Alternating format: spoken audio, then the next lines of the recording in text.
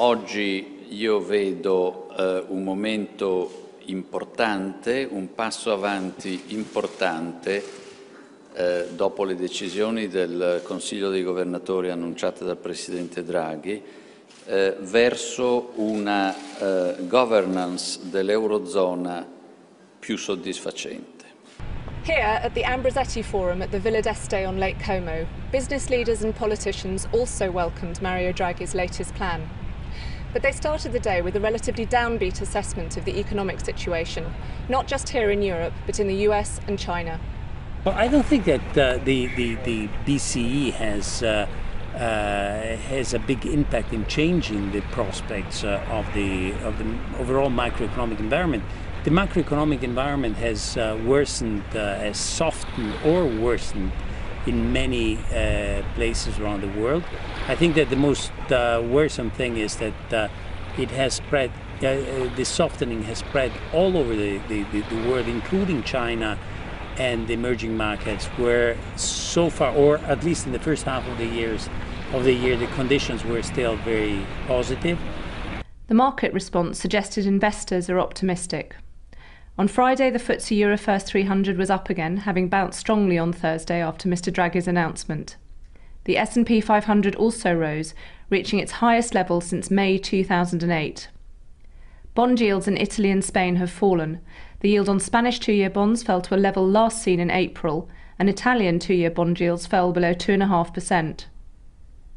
If we begin to get a sense that the euro crisis is coming under control, and this is certainly part of creating that sense.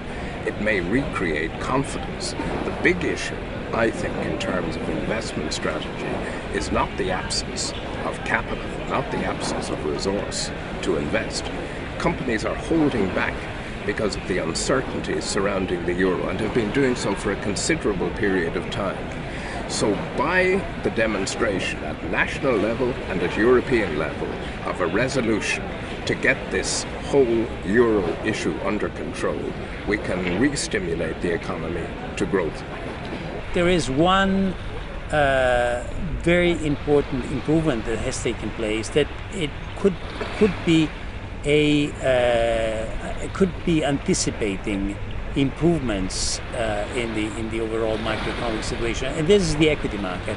Equities uh, have uh, uh have been uh, increasing uh, in value in the last the last couple of months. So I think that the financial market sentiment has changed, and I think that this is a, a an early indicator that something may improve also in the real economy. Any return of confidence, though, to the Eurozone would help European business, which has found it increasingly difficult to access credit as the Eurozone crisis has worsened. I think that uh, uh, per se, these measures uh, do not automatically improve access to credit because there is, uh, I think, there is a lot to do in the banking sector. But I think that certainly this paves the way for a better environment um, in uh, credit availability to companies which has been uh, one of the biggest problems we have been facing in the last uh, months, uh, perhaps in the last two or three years.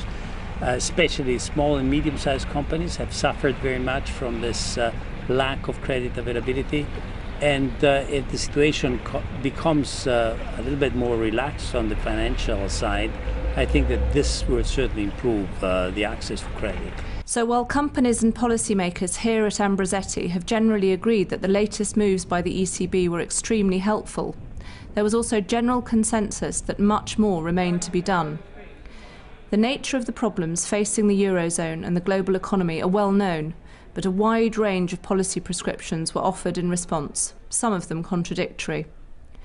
Some speakers advocated much greater integration among the Eurozone countries, from banking union to fiscal union. I believe that banking union is necessary. I believe that uh, we have greater economic union is necessary, and I believe that this necessarily means greater political union. Others suggested merely ensuring that current policy was actually implemented.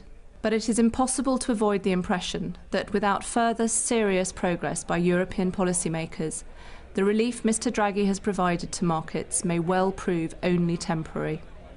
Sarah Gordon, Financial Times, Cernobbio.